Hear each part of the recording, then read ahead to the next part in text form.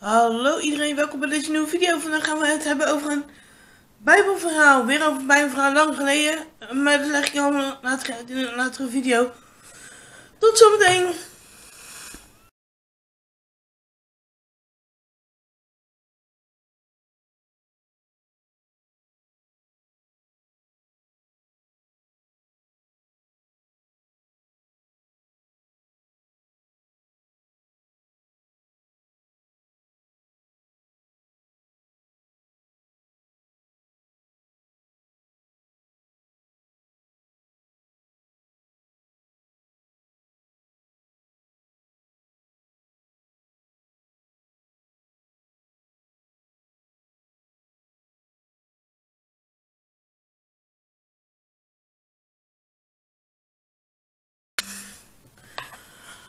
Hallo iedereen, welkom bij deze nieuwe video. Vandaag gaan we het hebben over een bijbelverhaal. Weer over een bijbelverhaal lang geleden. Maar dat leg ik allemaal later in een latere video.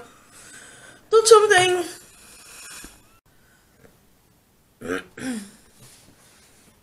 De geboorte van Mozes. Bij een van de Israëlieten wordt, wordt een kindje geboren. Het is een jongetje. Oh, wat hebben zijn vader en moeder een verdriet. Want, wat heeft de vader ook weer gezegd?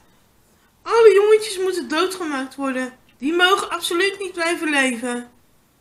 De moeder wil haar kindje bij zich houden. Ze verstopt hem. Maar na een tijdje kan ze hem niet meer verstoppen.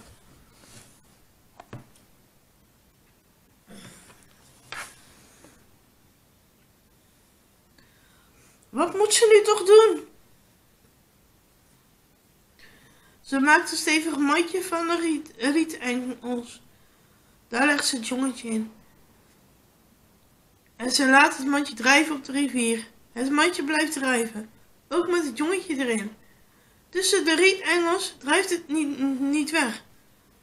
Aan de kant van de rivier staat een zusje. Ze kijkt, ze kijkt naar wat er gebeurt. Daar komt de dochter van de farao, de prinses. Zij gaat zwemmen in de rivier. Opeens ziet de dochter het mandje in het riet. Ga het eens halen, zegt ze tegen de bediende. Een bediende brengt het mandje bij haar. Ze doet het open en ze ziet het kindje liggen. Dat begint te huilen. Ach, wat zielig, roept ze.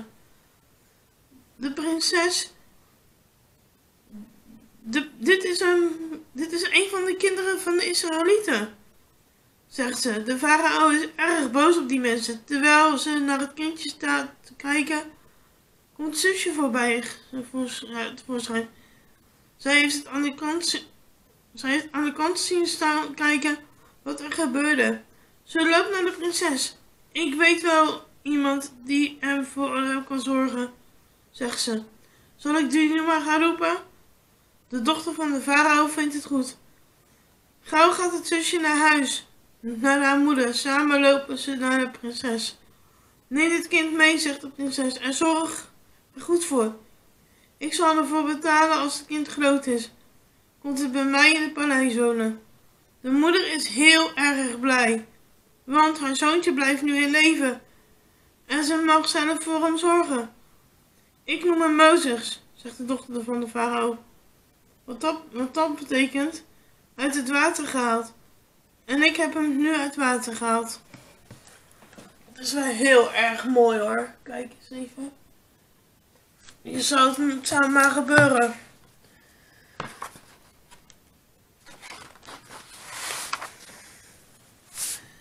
Het verhaal gaat verder. Eerst komt een heel mooi gedichtje. Mozes, wat ligt daar in het water, verstopt tussen de riet? Een mandje met een baby, je ziet het bijna niet. De dochter van de farao die zwemt naar in de rivier.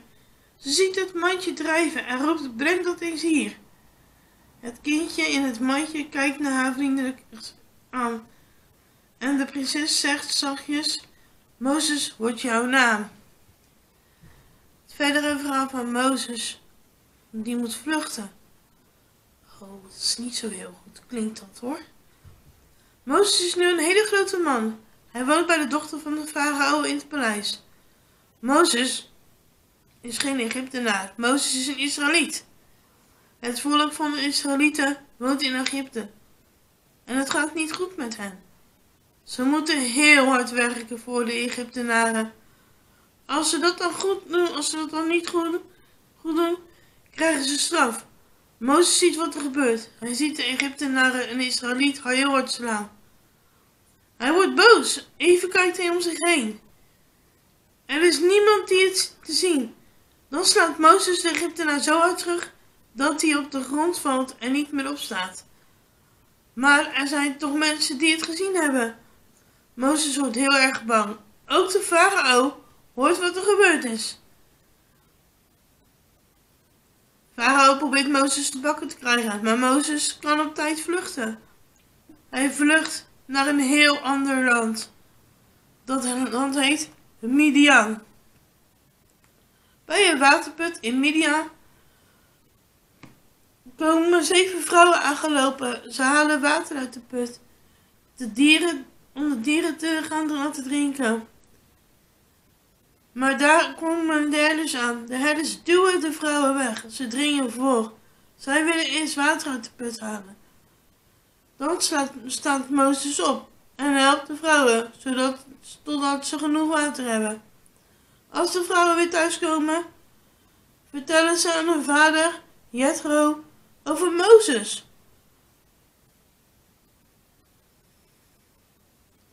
Hij heeft ons geholpen bij de put, vertellen ze. Daarom zijn we vandaag zo vroeg thuis. Waar is die man die jullie heeft geholpen, kinderen? vraagt hun vader. Vraag of hij bij ons komt eten. Ze gaan terug en nemen Mozes mee naar huis. Mozes blijft bij Jethro in zijn familie wonen. Hij trouwt met de dochter van Jethro. Hier zien jullie eerst het gedicht eh, bij de babytje. En daar aan de andere kant, hier aan deze kant, zien jullie de, ja, van Mozes dat hij moet vluchten. Wat een hemeltje. Het is echt niet nog. Maar het gaat nog verder, jongens, het verhaal. Het verhaal gaat nog veel verder van Mozes.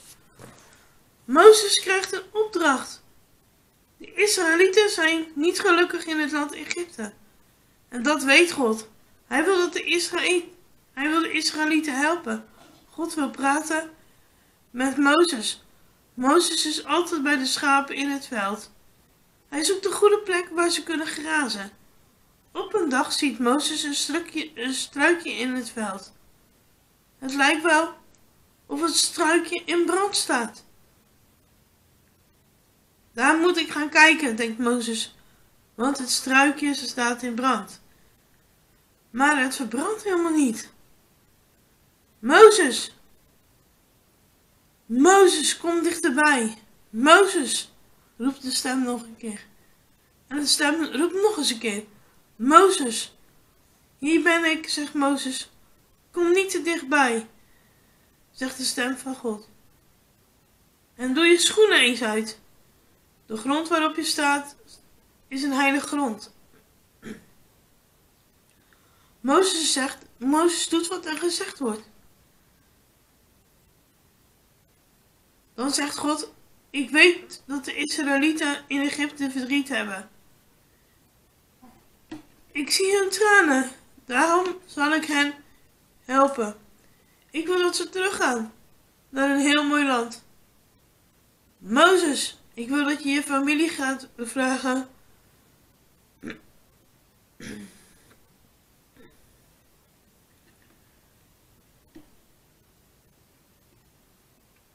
wil dat je je familie gaat vragen. Mozes, ga naar de farao. Vertellen dat het volk weggaat. Mozes luistert heel goed naar God. God zegt dat Mozes de leider moet zijn. Hij moet, in het volk, hij moet het volk uit Egypte leiden. Dat kan ik helemaal niet, zegt Mozes verdrietig. Maar ik help je toch, zegt God. Mozes praat de hele tijd met God. Het is een moeilijke opdracht. Mozes denkt dat hij het niet kan. En God zegt hem: Je moet doen wat ik je zeg en hoe ik, je zeg, hoe ik het zeg. Zo moet het. Maar Mozes vindt het nog steeds heel erg moeilijk. Kunt u niet iemand anders vragen om de opdracht te doen? vraagt Mozes. Maar God, nee, zegt God. En hij wordt boos. Je broer Aaron is uit Egypte, naar jou onderweg. Samen zullen jullie doen wat ik van jullie vraag. Dat klinkt uh, heel erg mooi. Zo begrijp. Als je iemand zo kan helpen, zo kan helpen, dan is dat best wel heel erg realistisch mooi, toch?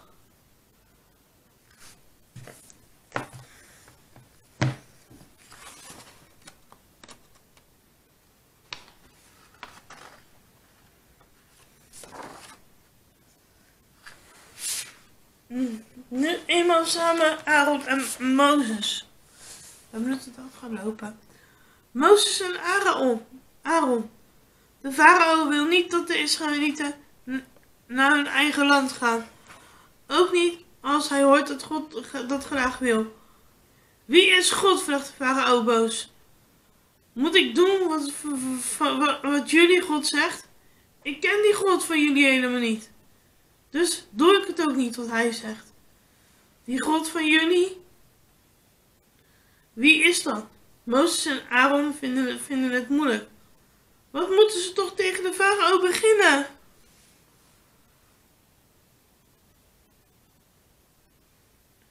Hoe krijgen ze de Israëlieten uit Egypte?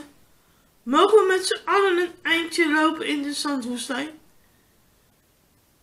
Om op een mooi plekje van God te bidden? Vraagt ze farao. Nee, dat mag niet. Op een mooi... Zegt farao, jullie volk moet heel hard voor mij werken. Als Mozes en Aaron onderweg zijn, roept de farao zijn werkopzichters. Bij zegt, de Israëlieten werken nog lang niet hard genoeg, zegt de farao tegen zijn oprichters. Ik vind ze lui. Zorg ervoor dat ze nog veel harder gaan werken. Opzichters laten nu de Israëlieten nog harder werken. Mozes en Aaron kunnen niets doen. Het leven wordt steeds erger voor de Israëlieten. Dat is wel heel heftig. Het verhaal gaat nog iets verder. Hmm. Eens kijken hoeveel verder het nog gaat. Oké. Mozes en Aaron bij de, bij de farao. God praat weer met Mozes. Mozes zegt hij, zeg tegen de farao wat ik nu aan jou zeg. Maar Mozes wil het niet. Ik kan, niet zo goed, kan het niet zo goed vertellen, God, zegt hij tegen hem. De farao zal vast niet, naar mij luisteren.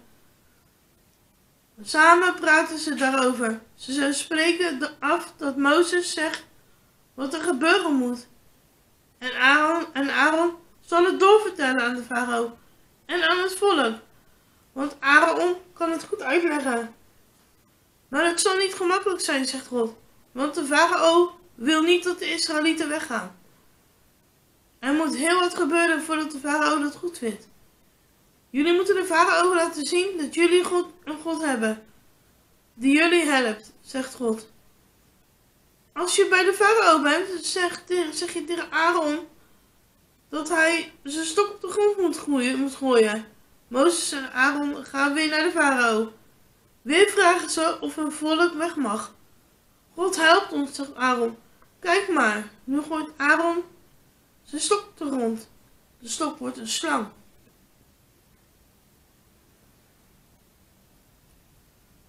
Dat kunnen wij ook, zegt de farao. Hij roept de drie wijze mannen en, eh, en vertelt hen wat ze moeten doen. Ze toveren en gooien hun stok op de grond en jouwen. Hun stokken veranderen ook in slangen. Maar de slangen van Aaron eten andere slangen op. Ga nu maar weer weg, zegt de farao.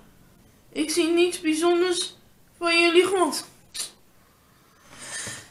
Dat is ook echt wel weer wat eigenlijk.